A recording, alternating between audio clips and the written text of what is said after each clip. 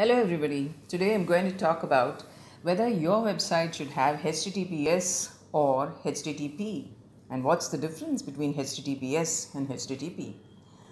Over the years, the amount of personal data being stored online has grown exponentially. The security of this information is a major issue, and two out of three internet users feel that the current levels of security are simply not good enough. It was for this reason that HTTPS came into existence. A user may be connected to a web page by Hypertext Transfer Protocol HTTP, which is not secure. To address the security issues, HTTPS Hypertext Transfer Protocol Secure was developed.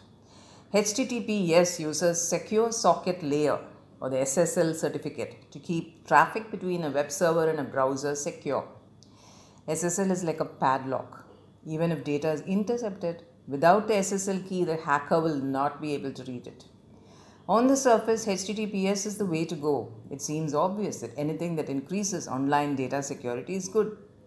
So, why do so few websites use it? Should you not move your website from HTTP to HTTPS? Well, the debate goes on. In 2014, Google, Google announced that HTTPS would be a factor in rankings. When Google pushes a technical feature, it is normally enough to get everyone on board, right? However, in this case, it has not been so. Today, just under 2% of the top 1 million websites redirect users to a default HTTPS SSL page. Overall, under 0.1% of all websites offer users the increased security of HTTPS. Surveys of webmasters show that over half of them do not have any plans of switching over to HTTPS in the foreseeable future. The argument appears to be that even with Google backing, 99% of glo- global searches do not take HTTPS into account. So it is not that important. Let us uh, look at the positives and negatives of moving to HTTPS and uh, the positives first. The first one is leading browsers like Chrome and Firefox warn users when they visit an HTTP site. Chrome uses an icon on the top, I icon on the top left corner to replace the padlock that signifies a secure page. Tapping on the icon causes a not secure warning to appear. This may cause users to hesitate before revealing any personal information.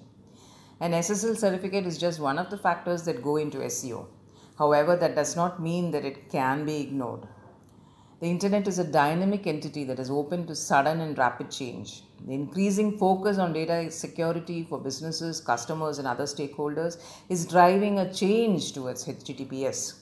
The sudden surge in data breaches could trigger an avalanche of change towards HTTPS, and those who are not in a position to switch quickly could left could get left behind.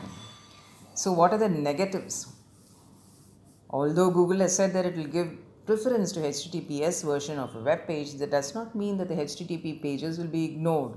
With both HTTP and HTTPS versions of a page available, there could be duplication issues with different versions coming up in search engine results, leading to visitor confusion and negative user experience.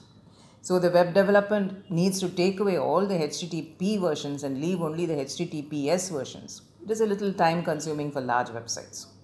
An SSL certificate is needed for HTTPS. While it is possible to get one for free if it is obtained from a leading provider, the cost ranges from $35 to $75. There are many more factors that must be taken into account in making a decision to switch to HTTPS. So, if you have a very small website, a simple content website, and it has been there, you know, at least for more than uh, two, three years, just leave it as it is. You don't have to make the switch unless you're going to add a payment gateway where you're going to get information, payment gateway information from users, then you can switch. But if you are starting brand new, then it, it is advisable to have a HTTPS right away.